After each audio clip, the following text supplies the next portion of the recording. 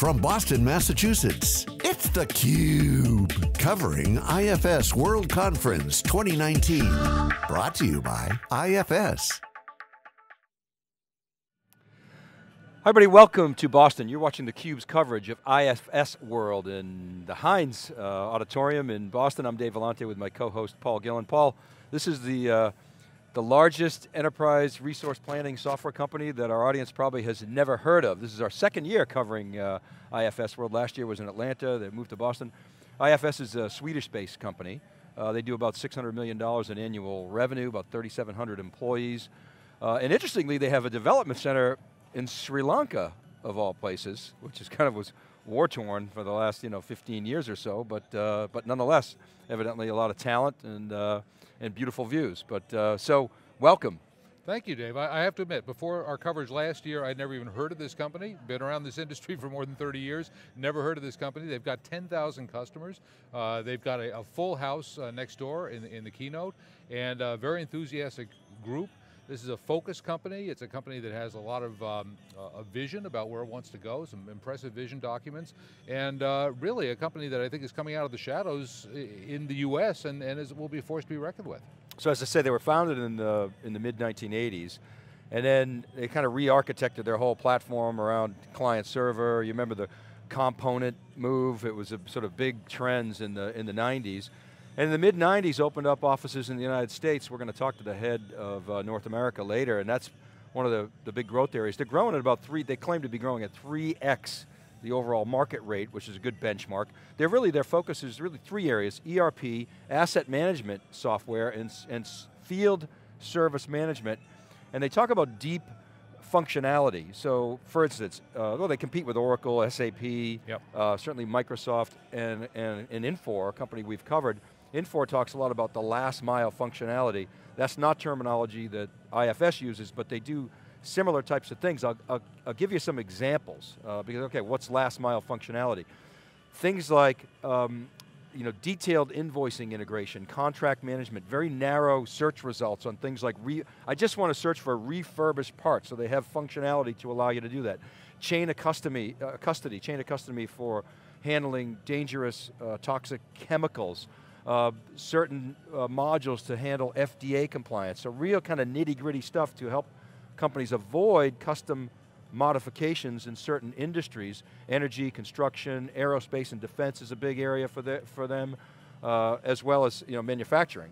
Well, this is a segment of the uh, ERP market that often is, is under uh, is underseen. Uh, there's a lot of these companies that started out in niches, and PeopleSoft being a famous example, starting out in a niche of the market and then growing into other areas. And this company continues to be very focused, even after 35 years. As you mentioned, just uh, energy, aerospace, a, a few uh, construction, a few basic industries that they serve, serve them at a very deep level, uh, focused on the mid-market primarily, but they have a new positioning this year they're calling the challengers, for the challengers, which I like. It's a, it's a message that I think resonates, it's easy to understand. They're positioning their customers as being the companies that are going to challenge the big guys in their industries. And in this time of digital transformation and disruption, you know, that's what it's all about. I think it's a great message they're bringing out this year. Well, of course I like it because theCUBE is a challenger, right? right. Even though we're number one in the segments that we cover, we started out as a sort of a challenger. Interestingly, IFS and the you know, Gartner Magic Quadrant is actually a leader in field service management. They made an acquisition that they announced today of a company called Astea. Astea. Astea is a pink sheet OTC company. I mean, they're very small. It's a tuck-in acquisition, and maybe they had a they had a sub $20 million market cap. They probably do 25, 30 million dollars in revenue.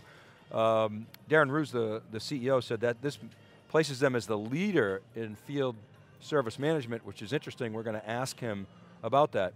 To your other point, um, you look around the ecosystem here, this, they have 400 partners. I was surprised last night I came early to sort of walk around the, the hall floor uh, you see large companies here like Accenture, uh, and I'm surprised. I mean, I remember the early days when we did the ServiceNow conferences, say 2013 or so, you didn't see Accenture, Deloitte, EY, PwC, now you see them at the ServiceNow event. Here, you see them. I mean, and, and well, I, I talked to Accenture last night, and they said, yeah, well, we actually do a lot of business in Europe, particularly in the Scandinavian region, and we want to grow the business in the US. Uh, Europe tends to be uh, kind of a blind spot for US companies. They don't see the size of the European market, all the activities, where some of the great ERP innovation has come out of Europe. Uh, this company, as you mentioned, growing three times the, the rate of the market. Uh, they have a, um, uh, a, a, focus on, uh, you know, they're very tight with those customers that they serve and they understand them very well. And this is a, uh, you can see why Accenture is, is, uh, is serving this market because, you know, they're, they're, simply following the money. There's only so much growth left in the, in the SAP market and the Oracle market, but as the CEO, Darren said this morning, uh, half of their revenues last year were from net new customers. So that's, that's a great metric that indicates that there's a lot of new business for these partners to pursue. Well, I think there's, there's some fatigue, obviously, for big, long, multi-year SAP integrations. You're also seeing, you know, at the macro, we work with uh, enterprise technology research and we have access to their, their data set. Um, one of the things that we're seeing is a slowdown in the macro. Uh, clearly, uh, buyers are planning to spend less on IT in the second half of 2019 than they did in the first half of 2019, and they expect to spend less in Q4 than they expected to in July. So things are clearly softening at the macro level. They're reverting back to pre-2018 levels, but it's not falling off a cliff. One of the things that I've talked to ETR about is a, uh, sort of the premise we put forth, I'd love to get your thoughts, is essentially we started digital transformation projects, let's say in earnest in 2016, 2017, doing a lot of pilots, started kind of pre-production in 2018, and during that time, what, what people were doing is they were, had a lot of redundancy.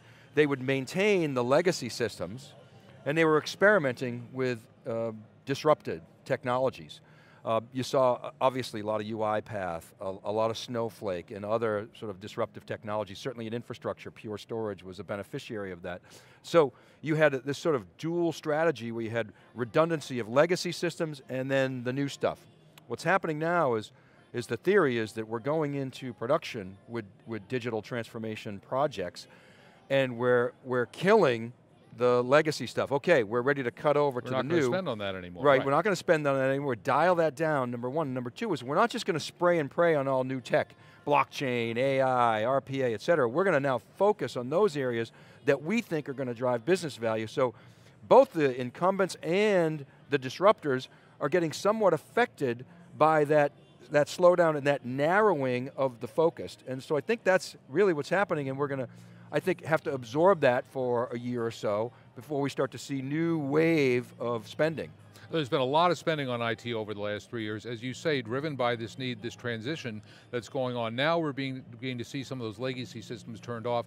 The more important thing to look at, I think, than overall spending is where is that money being spent? Is it being spent on on, on servers or is it being spent on cloud services? And I think you would see a fairly dramatic shift going on there. So the overall, the, the, the macro I think is still healthy for IT. There's still a lot of spending going on, but it's shifting to a new area and they're, they're, they're killing off some of that redundancy. Well, the ETR data shows a couple things. There's no question that server and storage spending is, has been declining and attenuating for a number of quarters now.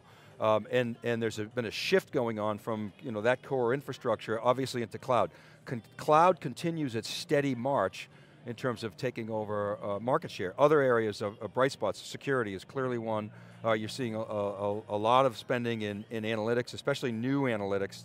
I mentioned Snowflake before, disrupting kind of Teradata's traditional legacy enterprise data warehouse market. The RPA market is also very hot.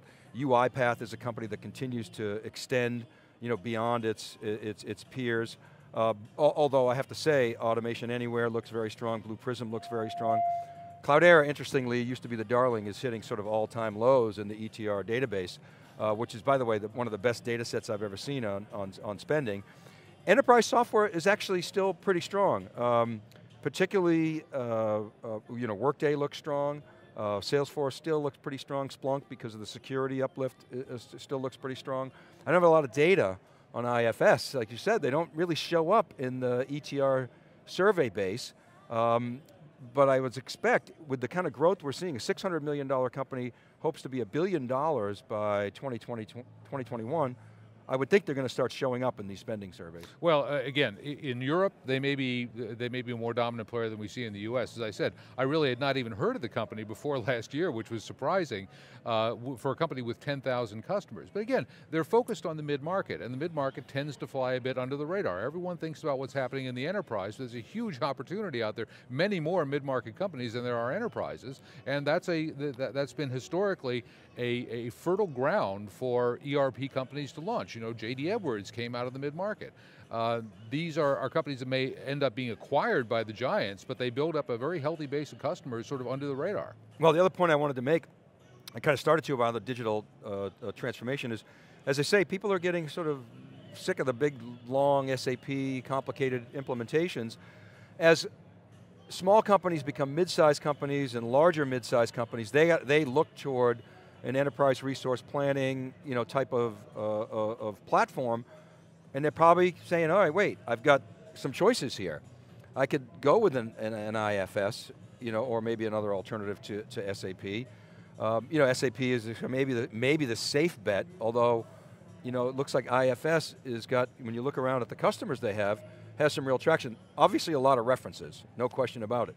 One of the things they've been dinged for, I saw this, uh, Gartner dinged them for API integrations, well they've announced some major API integrations. We're going to talk to them about that and, and, and, poke at that a little bit and see if that will sort of solve that criticism, that what Gartner calls caution. You know, let's see how real that is in talking to some of the customers. We'll be talking to the executives uh, and members of the ecosystem, and obviously Paul and I will be giving our analysis as well. Final thoughts here. Uh, just the, the challenge, uh, I think as you note, for these mid-market focused companies has been growing with their customers. And that's why you see uh, the Lawsons and the J.D. Edwards of the world, many of these, these uh, mid-market companies eventually are acquired by the big ERP vendors. The, their customers eventually, if they grow, have to go through this transition. If they're going to go to enterprise ERP, you know, they're forced into a couple of, of big choices the opportunity and the challenge for IFS is can they grow the, those customers as they move into enterprise grade uh, size, can they grow them with, uh, with the IFS product line without having them, forcing them to transition to, to something bigger? So a lot of here, a lot of action here in, in Boston. We heard from uh, several outside speakers. There was uh, Linda Hill from Harvard. Uh, they had a digital transformation CEO panel. Uh, the CEO of SUSE, who will be on later, uh, and, PTC, and, some other company, P yep. Uh, PTC, uh, uh, with Heppelmann, uh, Conway. Uh, Conway, former PeopleSoft CEO, was on there, and then of course Tony Hawk, which was a lot of fun. obviously a challenger. All right, so keep it right there, everybody. You're watching theCUBE live from IFS World Conference at the Hynes in Boston. We're right back right after this short break.